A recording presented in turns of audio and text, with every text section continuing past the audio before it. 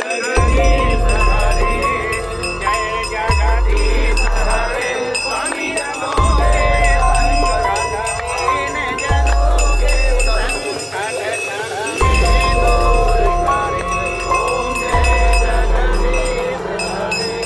मोदी की रैली से पहले भूमि पूजन के दौरान हो रही आरती छीनने वाले ये लोकसभा चुनाव के मीडिया प्रभारी हैं। जिनकी ज़िम्मेदारी चुनावी खबरों को मीडिया तक पहुँचाने की है, वो खुद खबर में आने के लिए किस तरह से आतुर हैं, ये वीडियो बताने के लिए काफ़ी है।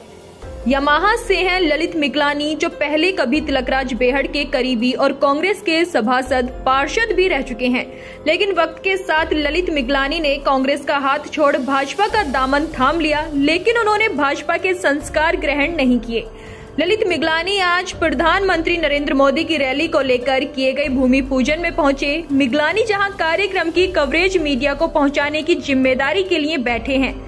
लेकिन मिगलानी खुद भी खबरों में अपने आप को चमकाने की जुगात में लगे रहते हैं। ये वीडियो एक सोशल मीडिया प्लेटफॉर्म पर लाइव कवरेज का है, जिसमें भाजपा के पदाधिकारी कार्यकर्ता भूमि पूजन के दौरान आरती करते दिखाई दे रहे हैं।